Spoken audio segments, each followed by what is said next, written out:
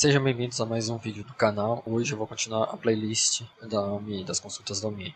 O que, que a gente vai fazer hoje? Nós vamos trabalhar na parte financeira e no extrato de conta corrente. Nós vamos buscar os extratos das contas do exemplo que a OMI nos deixa testar a WebKey e o WebSecret. O que, que acontece? Para a gente pegar os extratos, eu estou com ele aberto aqui, nós precisamos informar, vou executar aqui, deu erro. Por que, que a gente precisa informar o código da conta corrente, o código da conta. E para pegar esse código de conta, a gente precisa listar as contas correntes que a empresa tem.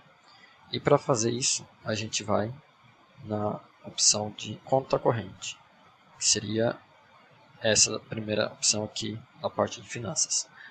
Pegando esse endpoint, informando que a gente quer pegar a primeira página, sem registro por páginas, e a gente vai pegar o total das contas. Por exemplo, aqui retornou uma página, total de páginas, uma e 115 registros. E a primeira conta, o código do banco é 99 e o código da conta interna da UMI da primeira conta é 1208-238. Esse código eu vou copiar aqui, Ctrl C, e substituir neste campo aqui, do ncodecc. E eu vou executar. Deu problema porque o preenchimento da tag período inicial é obrigatório. E então eu vou preencher do dia 1 de 1 de 2021. Vamos ver se vai trazer algum retorno dessa conta. Ah, trouxe a descrição da conta, período inicial, período, período final e todos os lançamentos que tem. Se teve lançamentos, não teve, saldo e tudo mais. Deixa eu verificar se tem algum. Ó, aqui tem lançamentos. Ó. Adiantamento a cliente, adiantamento a cliente e assim por diante. No Power BI a gente vai precisar executar dois requests. A gente vai precisar consultar dois endpoints. O endpoint do extrato e o endpoint da conta corrente. E a intenção aqui é deixar tudo na mesma consulta. Vou abrir o Power BI, transformar dados e vamos inserir uma nova consulta, nula, e para editor de texto avançado. A gente poderia ter outras opções de web com configuração de parâmetros e tudo mais, mas eu gosto de fazer digitando mesmo para poder entender o que está acontecendo também, o que, que a gente vai fazer. E uma das alterações em comparação ao que eu já fiz no, nesse novo código que eu vou fazer aqui é uma dica que o Rafael Pacheco passou no canal do Dev Analytics. Ele fez uma construção do do body de uma forma diferente. Eu vou utilizar a forma que ele estruturou porque ficou mais claro. É, Para mim, eu, ficou mais fácil de trabalhar do que eu fazia anteriormente. O que, que inicialmente a gente vai precisar fazer? A gente vai precisar fazer o request. Então a gente vai fazer request contas. E nesse request contas eu vou passar um parâmetro que vai ser o número de páginas que a gente precisa informar. Então vai ser página as number e vamos começar a função let. Nesse let eu vou informar o body, que é o corpo que a gente precisa passar na consulta da, da API, que é essa chamada aqui.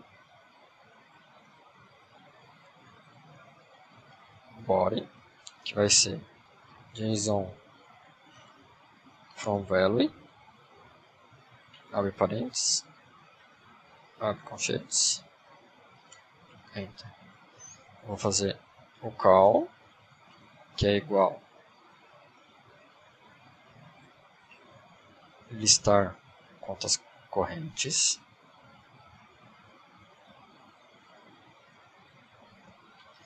Depois do call vem vou copiar aqui direto para ficar mais fácil. App key, Ctrl C, Ctrl V, apaga os aspas, igual. Na sequência, vai ser o app secret. Esse app secret. App secret.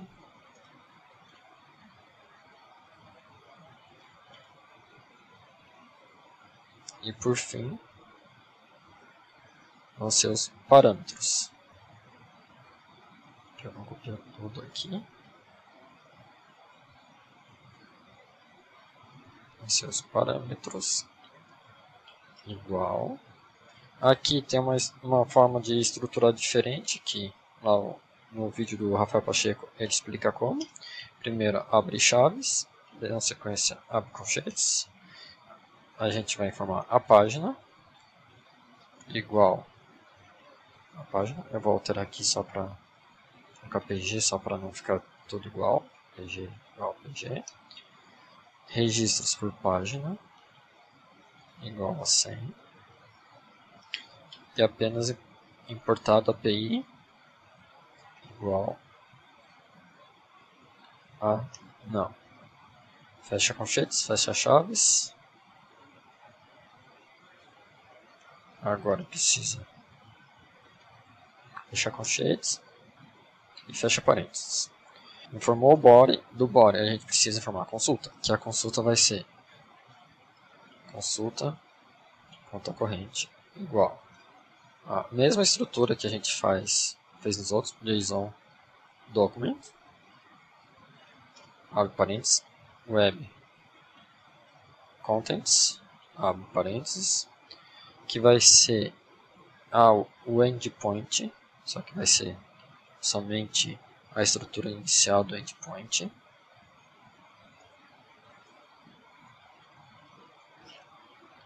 Abre aspas. Vai ser o API app.omie.com.br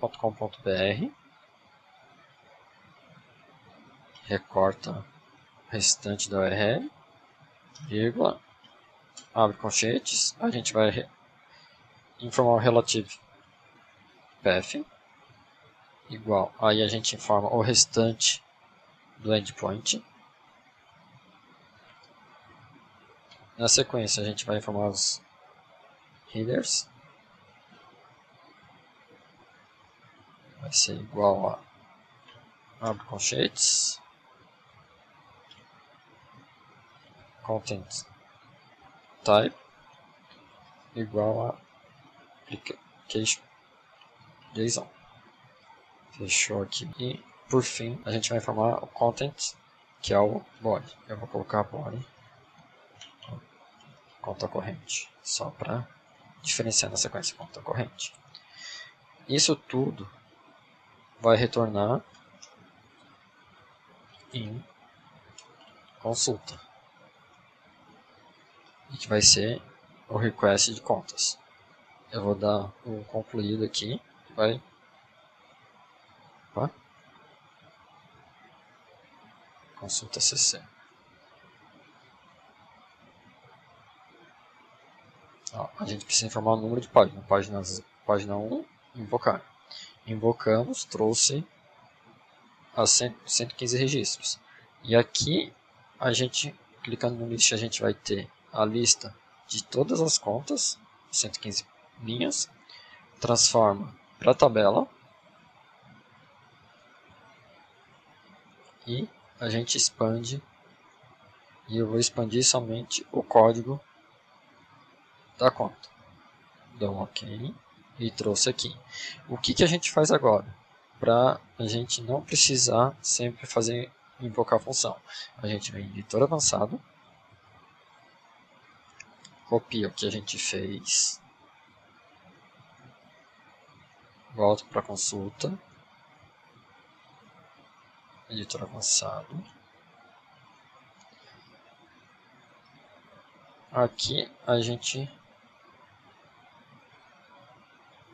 vai continuar a nossa função. O que, que a gente vai fazer? Vai colar o que ele fez anteriormente.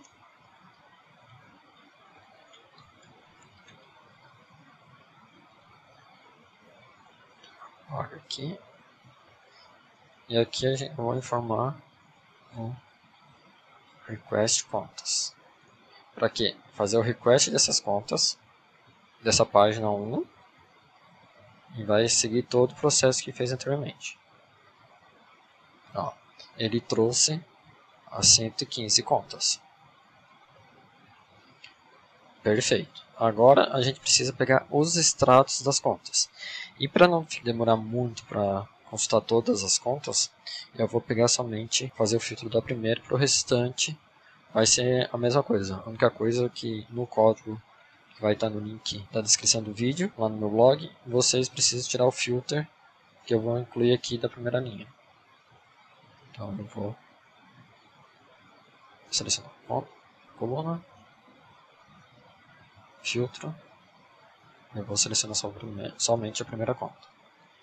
Feito isso, agora a gente precisa ir para montar a estrutura do extrato. Aqui no extrato, para consultar o extrato, a gente precisa informar a conta, que é o que a gente conseguiu, e período inicial e o período e se desejar o período final. No caso que vocês queiram passar o período, tem um vídeo ali aqui no canal que é que é a parte de consulta do orçamento caixa, ele mostra como fazer a requisição, fazer o, a função com dois parâmetros. Aí vocês podem formar dois ou três parâmetros. E a partir de, dessa requisição, vocês podem formar o inicial e, e o final. No meu caso, o que eu vou fazer aqui vai ser período fixo. Eu vou colocar realmente a partir do dia 1 de janeiro, só que de 2020 e não 2021. Vamos para o Power BI novamente, continuar a edição aqui da consulta. vou deletar essa função invocada consulta. Deixa eu tirar o nome aqui, vai para extratos, CC. Agora a gente vai precisar fazer essa mesma estrutura aqui, só que para os extratos. Então, eu vou copiar para facilitar. Após o, o filter, eu vou colar. Só vou deixar um espaço aqui para poder ficar mais organizado. Aqui eu vou fazer request extrato, onde aqui vai ser conta corrente, as number, não, vou colocar como text, porque nas, nas consultas que eu fiz foi mais fácil utilizar como texto do que como número. O body do extrato vai, a gente vai ter que fazer a call de listar extratos com o AppKey e AppSecret continuam as mesmas coisas informando ncode cc que vai ser cc conta corrente. Na sequência deixa eu copiar aqui vai ficar mais fácil. Nós vamos precisar o código interno da conta não tem necessidade. O período inicial que vai ser 1 de janeiro de 2020 e o período final que eu vou deixar em branco no momento informado o corpo o body do que a gente vai enviar para o ME, a gente vai fazer a consulta do extrato. Consulta do extrato, Web Contents continua o mesmo, que é a URL principal deles. E a gente vai precisar alterar aqui o endpoint mesmo, a URL final, que vai ser app v1 finanças extratos. Fecha aspas e vírgula continua application JSON aqui com type e aqui vamos alterar para body extract. Feito isso, a gente vai fazer o retorno em consulta extrato e na sequência para fazer o teste a gente vai fazer o request extrato. Eu vou dar um concluído.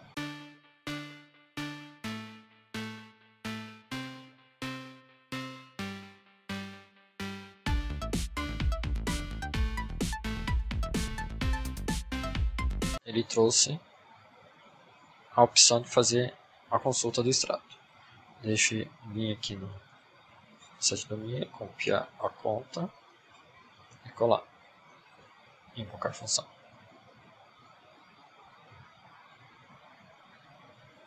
Agora ele vai trazer desde 2020 toda a consulta. Ele está demorando porque é sinal de que a gente fez o request da forma correta. Ó, ele trouxe tudo. Feito isso, vamos listar. No listar a gente vai transformar para a tabela e da tabela a gente vai expandir. Ele trouxe aqui 2020, saldo final de 2019 e iniciando 2020. Deixa eu alterar aqui primeiro o tipo da, da data, só para verificar qual é a última data que tem aqui no lançamento. Inserir. Ó, dia 21 de 9 de 2021. Então, ele está executando, ele está funcionando. Existe movimentação. Então, nossa requisição está legal. Só que o que, que acontece? Nós vamos precisar incluir uma coluna nova para fazer a consulta dessas requisições, dessas contas e, e fazer tudo que a gente fez aqui. Para mudar um pouco, para a gente poder entender como vai ser o processo de incluir a coluna nova e trazer todas as informações, eu, a gente vai inserir aqui uma nova tabela. Somente com é, N código CC com o código da conta. Pode ser tabela, porque vai ser somente um exemplo. Inserimos. Tem que transformar para tipo texto, porque no código a gente informou que vai ser texto e não número. Adicionar coluna. Invocar função personalizada. Vou colocar extrato, nome da coluna, que vai ser da função extrato conta corrente, utilizando o código da, da conta. Vou dar um OK. Ele trouxe aqui. Vamos expandir. Ok. Ele trouxe algumas informações, resumo, vamos dizer assim. Ó, período inicial, período final, saldo anterior, saldo atual, saldo conciliado, saldo provisionado. Mas o que, que a gente precisa mesmo é a lista de movimentos. E para não precisar trazer tudo, que no nosso caso aqui não é a intenção trazer o resumo sem trazer toda a movimentação, clica na engrenagem e vamos trazer somente a lista de movimentos. Ok, trouxe a lista. Expandir novas, para novas linhas e expandir tudo. Feito isso, voltamos para a página inicial aqui, editar editor avançado. E a gente vai copiar desde a invocar função. Porque na, na invocar função a gente tem o table add call, que a gente vai inserir a coluna para fazer a invocar a função que a gente montou e seguir na sequência que a gente fez até o final. Vou copiar, cancela, extratos, editor avançado. A gente vai incluir que a gente fez de invocar função. Então vamos configurar aqui. Esse. Vou deixar. E esse filter rows aqui eu vou recortar e colar aqui para chamar a função a partir dessa última etapa que a gente filtrou a, a primeira linha que é o código da conta feito isso vai invocar vai adicionar a coluna a partir do filter rows que vai, a gente precisa alterar o nome da função, que aqui vai ser request status, pegando o número da conta, vai expandir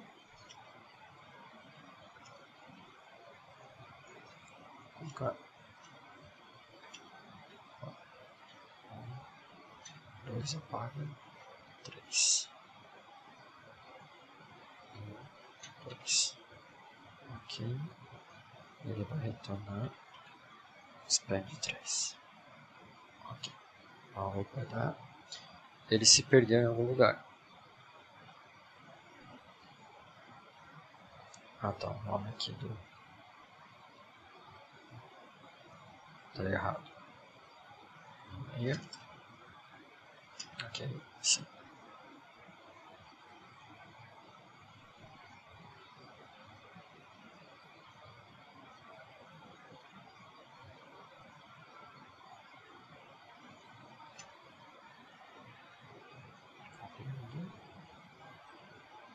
Mesmo assim deu erro. Por que, que deu erro? Porque o, o filtro que a gente fez aqui, ele está como número. E no request, o que a gente fez no request aqui do extrato, eu informei que a conta corrente é texto. Então a gente precisa alterar o tipo do dado aqui. Vou passar para texto. Insere. Request que é a função, invocar a função,